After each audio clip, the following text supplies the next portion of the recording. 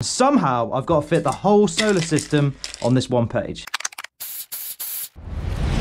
Now to make this as accurate as possible, I've aligned all of the planets in kind of the right order, at kind of the right size, to the right scale, into a different sheet. So if I peel this guy off, they should line up in roughly the right place.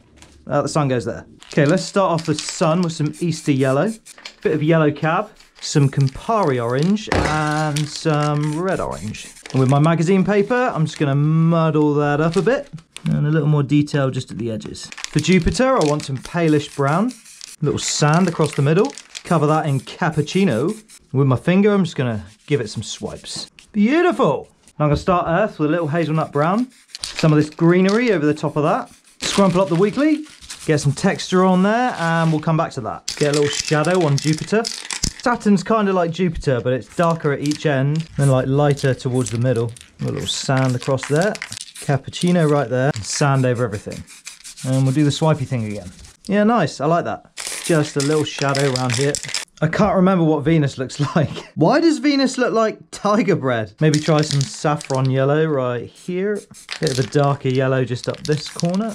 And some red orange. Let's get a real edgy part here and try and make tiger bread. To scale, I will take that. Shadow and a little highlight, why not? Okay, coming back to Earth here, I'm gonna tear this up and we're making continents. That is 100% accurate. I want some ultramarine around this side and sky blue around here. Let's flick these guys off. Come on, Australia.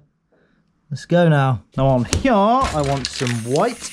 Load up this little sponge and we add the weather. You didn't believe me when I said this was accurate. What if I was to tell you that this is the Gulf of Mexico and this is the South Pole? Shadow Okay, for Mars, I want some royal red, little shot red, some black over that. Quick muddle with the weekly and peel it off. Shadow. Ta-da! I'm just kidding. I need all this to dry. These are nice and dry now, so let's get this done. So I've got my bespoke planet stencils here, so let's get them all laid down. Now I'm just weighing everything down with some nuts, bolts, and stones, and anything really. For the rings on Saturn, I want some sand here and here. And Uranus, fresh blue here and here. Now I want the whole painting covered in black. Now I want some of this light blue just around the sun here. Bavaria blue just around the edge of that.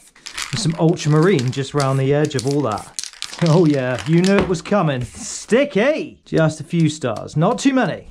I want it to be as realistic as possible. I want some transparent orange just around where the sun is. And same again with transparent yellow. Now I need to do the rings on Saturn and Uranus. To do that, I'm going to fold up this piece of card, like so. Cut it down to the size that I want it. Cut that in half. And I just want to cut a few little notches in it. This is what's going to make the rings. And we have a Skadusha. Okay, let's start with Saturn. Hit it with a little bit of clear. And with the Skadusha, we just line it up and skadoosh. Skadoosh. Same with Uranus, but slightly lighter.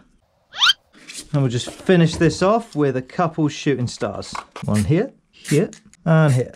Squiggle my diggle and see how it looks. Boom, boom, boom, boom, boom, boom, and boom. Behold the system of solar. Bye.